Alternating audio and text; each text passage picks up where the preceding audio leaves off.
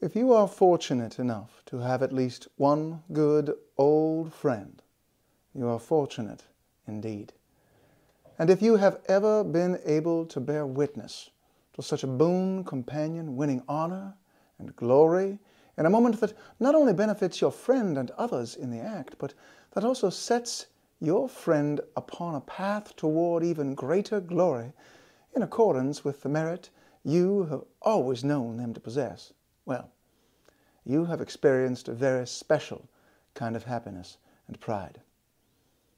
I had one of those blessed experiences on March 12th of 1773. My boyhood friend, Dabney Carr, stood in the Virginia House of Burgesses and proposed resolutions that would enable the weaving of a tapestry of continental revolution. By proposing the establishment of a standing committee of correspondence and inquiry, Mr. Carr who had been like a brother to me since our earliest days together at the school of Reverend James Maury in Albemarle County, was laying a plan for a network of communication that would coordinate thought and action among the British colonies spanning the eastern seaboard of North America. He was but 29 years of age at the time, and this bright moment of his promised an even more luminescent future if my pride seems to you enthusiastic. It is at least partially because Dabney Carr wasn't merely like a brother to me. He was my brother-in-law. Nearly eight years prior, Mr. Carr had married my younger sister, Martha Jefferson. Of course, Mrs. Martha Jefferson Carr, and the mother of six children by the spring of 1773. Mr. and Mrs. Carr's marriage had spanned an era of growing fervor, beginning on July 20th, 1765, just after Patrick Henry's famous speech and resolves that previous March regarding the infamous Stamp Act. Mr. Carr was elected to the House of Burgesses for the first time in 1771, and then again in 72. That was the year of the events that inspired Mr. Carr's proposal of the resolutions. On June 9th of that year, the British customs schooner HMS Gaspé ran aground near Warwick, Rhode Island. Other than being embarrassing and uncomfortable for the captain and crew of the Gaspé, that event alone would not have brought about intercolonial correspondence. The matter was complicated, however, by the fact that the HMS Gaspé had run aground while in pursuit of the colonial packet ship Hannah. That was certainly enough to annoy the colonists enough to do what, advisedly or otherwise, they proceeded to do.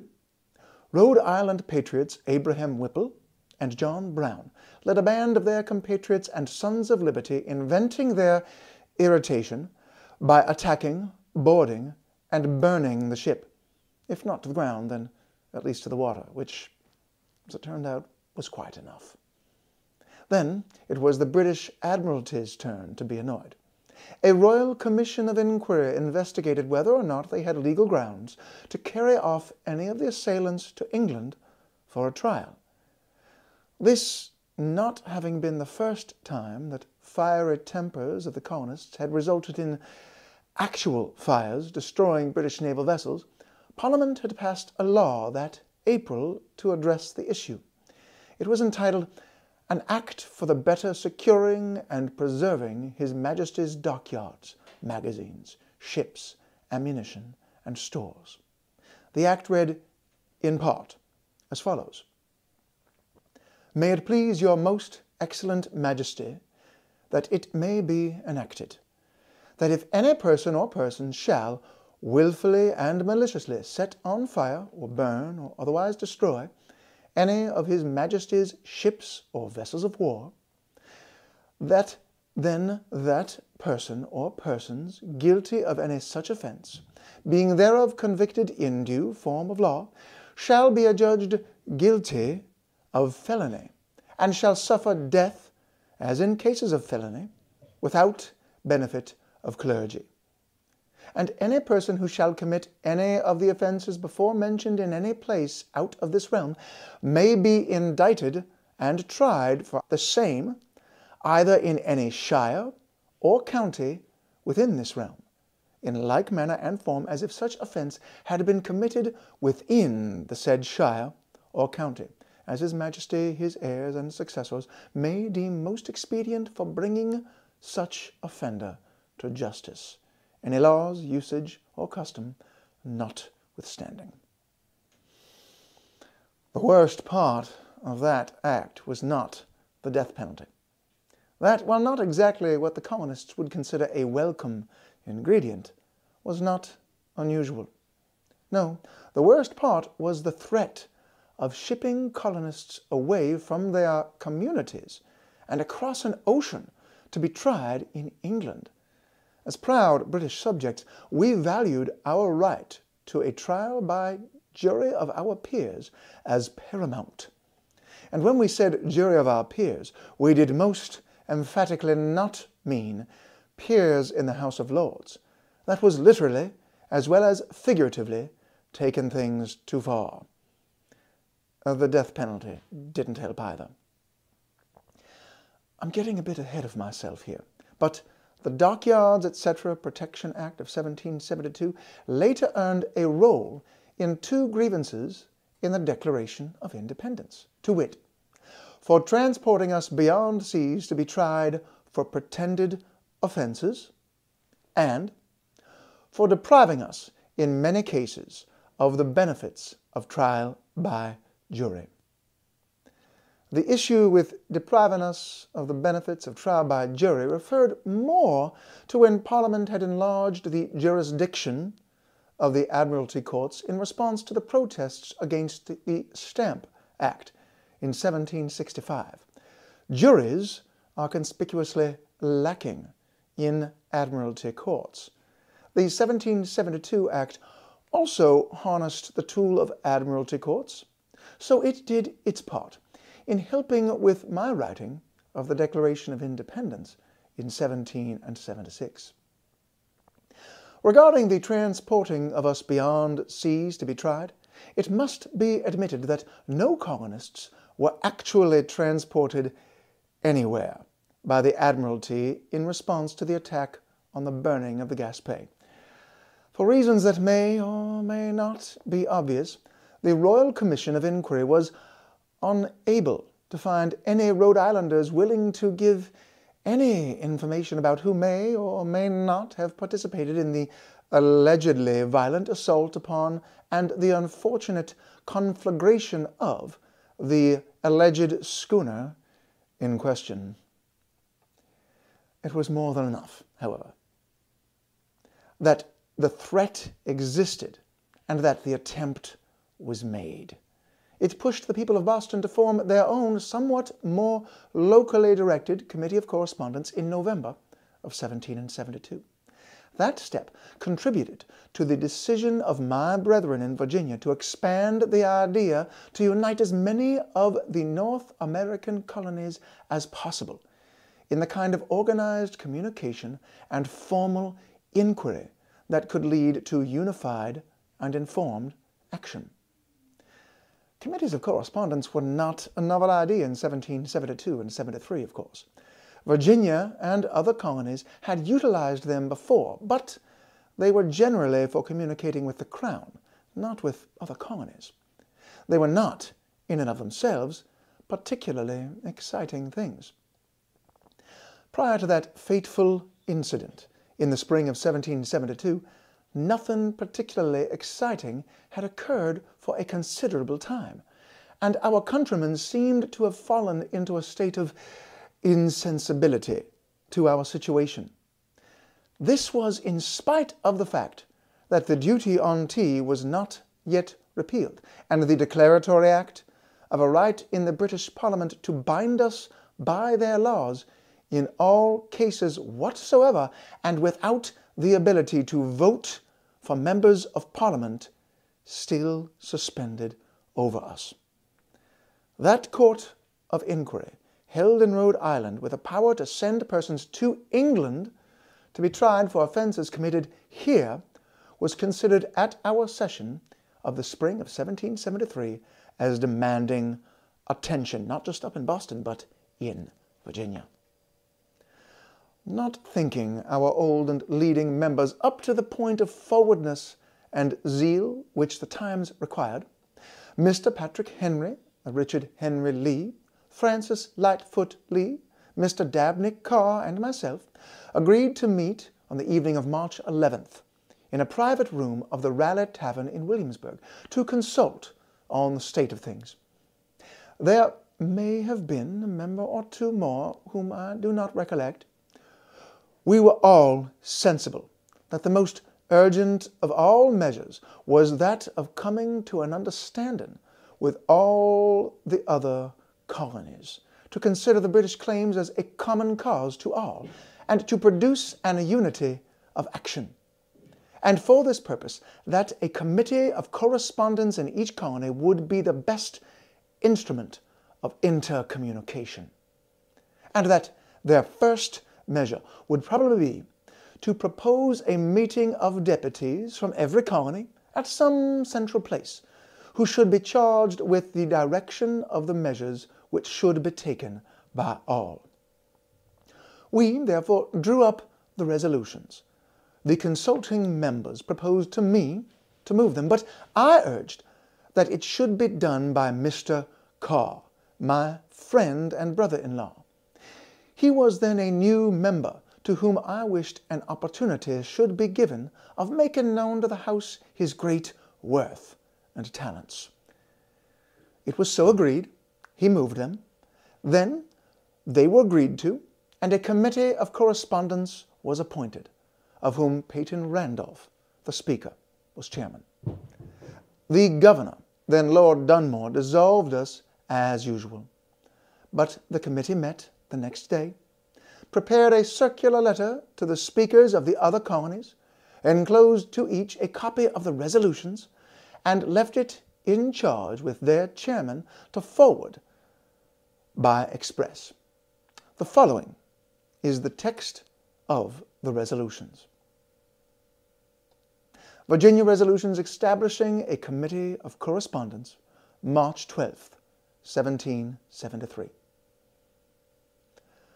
Whereas the minds of His Majesty's faithful subjects in this colony have been much disturbed by various rumors and reports of proceedings tending to deprive them of their ancient, legal, and constitutional rights, and whereas the affairs of this colony are frequently connected with those of Great Britain as well as of the neighboring colonies, which renders a communication of sentiments necessary, in order, therefore, to remove the uneasiness and to quiet the minds of the people, as well as for the other good purposes above mentioned, be it resolved that a standing committee of correspondence and inquiry be appointed.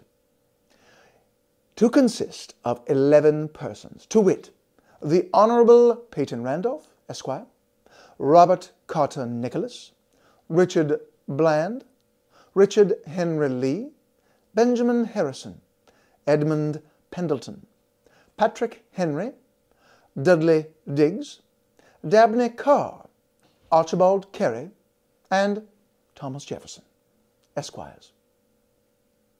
Any six of whom to be a committee whose business it shall be to obtain the most early and authentic intelligence of all such acts and resolutions of the British Parliament, of proceedings of administration, as may relate to or affect the British colonies in America, and to keep up and maintain a correspondence and communication with our sister colonies respecting these important considerations, and the result of such their proceedings from time to time to lay before this House. Resolved that it be an instruction to the said committee that they do without delay inform themselves particularly of the principles and authority on which was constituted a court of inquiry said to have been lately held in Rhode Island, with powers to transmit persons accused of offenses committed in America to places beyond the seas to be tried. The said resolutions being severally read a second time were, upon the question severally put thereupon, agreed to by the House, nemine contradicente. Resolved, that the Speaker of this House do transmit to the Speakers of the different assemblies of the British colonies on the continent copies of the said resolutions, and desire that they will lay them before their respective assemblies and request them to appoint some person or persons of their respective bodies to communicate from time to time with the said committee. Virginia's proposal of a committee of correspondence in 1773 was not original. But the question of who commenced the revolution is as difficult as that of the first inventors of a thousand things. For example, who first discovered the principle of gravity? Not Newton, for Galileo, who died the year that Newton was born, had measured its force in the descent of gravid bodies. Who invented the Lavoisierian chemistry? The English say Dr. Black, by the preparatory discovery of latent heat. Who invented the steamboat? Was it Gerbert, Worcester, Newcomen, Savary, Papin, Fitch, Fulton? The fact is that one new idea leads to another, that to a third, and so on through a course of time, until someone, with whom no one of these ideas was original, combines all together and produces what is justly called a new invention. I suppose it would be as difficult to trace our revolution to its first embryo. And the truth, I suppose, is that the opposition in every colony began whenever the encroachment was presented to it. This question of priority is as the enquiry would be, who first among the three hundred Spartans offered his name to Leonidas? I am absolutely certain of at least one thing, however. My heart bursts with pride and joy on reflecting upon seeing my ancient friend offer his own name, as it were, to Leonidas. When we were lads, we used to make our way to the top of a little mountain on my father's property, just westward across the Rivanna River from Shadwell, uh, my father's home and where I was born, to take in the views around us and to dream of doing things as great as the heroes in the ancient Greek histories and poems and legends we revered. We even made a promise to one another regarding the top of that mountain, that whichever one of us would pass first from this world would depart in the surety that his surviving friend would make certain that he would be buried upon that mountain. I later built my home there and named it for that little mountain, in Italian, Monticello. Alas, my dear friend Dabney was not to rise to the heights of glory that seemed to be his destiny on that day in 1773. He died of a fever two months later, on May 16th of 1773, just three weeks after the birth of his and Mrs. Carr's sixth child and third son, named Dabney for his father. I fulfilled my promise and had my childhood friend buried atop the little mountain in a spot that would become our family graveyard. I tell you this not to sadden you, though my grief at the time was real, but rather to share with you a name of one whom I believe merits your remembrance. My friend played his part well in a great cause. He was one of many, a few of whom I have named herein. And there were many others whose names have not been recorded who, like Dabney Carr, acted with courage to help with perhaps a step forward here or a little push there, to move us by increments toward our shared goal. I am grateful to have been there to witness my friend's moment of glory and to be able to be here now to share his name with you. Mr. Carr serves posterity as a reminder that Americans were angry not at the existence of such laws as those being enforced by the customs schooner Gaspé, nor by the enforcement of those laws. Rather, we were angered by the fact that we had no say in the making of those laws. If the Sons of Liberty had been legally allowed to vote for members of Parliament who would contribute to those laws, and had either neglected to vote or had simply seen the person for whom they had voted defeated in an election, the situation would have been very different. The attack on the Gaspé would have been unjustified. By 1773, the Patriot cause wished to win the enjoyment of our natural right to participate in a government based on majority rule. We were fighting for our right to vote, and then to respect the same right possessed by others enough to accept the results, win or lose. No government by the people can exist for long without that balance.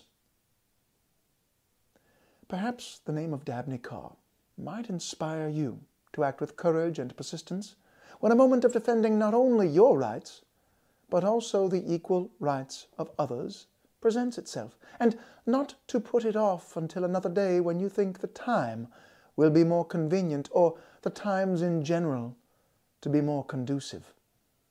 It is part of Dabney Carr's legacy, I think, to stand as a reminder that time is more precious than you can imagine.